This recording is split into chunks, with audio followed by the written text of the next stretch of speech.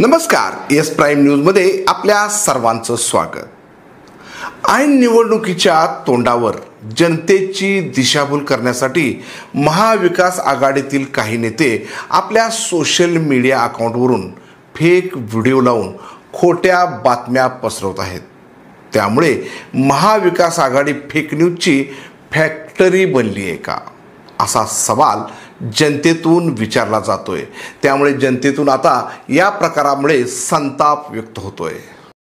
सध्या विधानसभा निवडणुकीच्या पार्श्वभूमीवर सत्ताधारी आणि विरोधकामध्ये आरोप प्रत्यारोपाच्या फैरी जाडल्या जात आहेत. अशातच महायुती सरकारकडून जनतेच्या हिताच्या अनेक योजना लागू करण्यात आल्या आणि त्याचा फायदा अनेक महिलांना आणि शेतकऱ्यांना देखील होऊ लागला आहे त्यामुळे विरोधकांच्या म्हणजेच महाविकास आघाडीच्या पायाखालची वाळूच आता सरकल्याचं दिसतंय.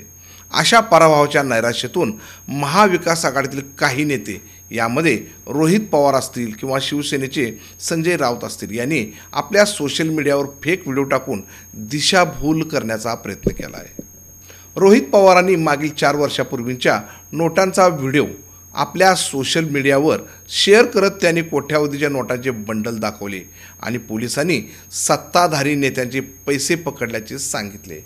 तसेच याच महाविकास आघाडीतील काही नेत्यांनी लाडकी बहीण योजना बंद झाल्याची अफवा पसरवली.